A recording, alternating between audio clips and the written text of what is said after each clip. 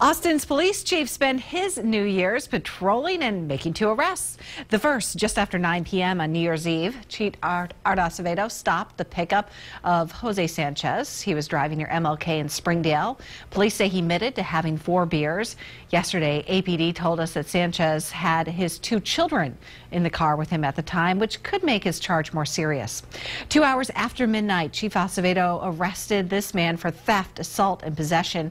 APD says he had taken cash from a man's hand in East Austin.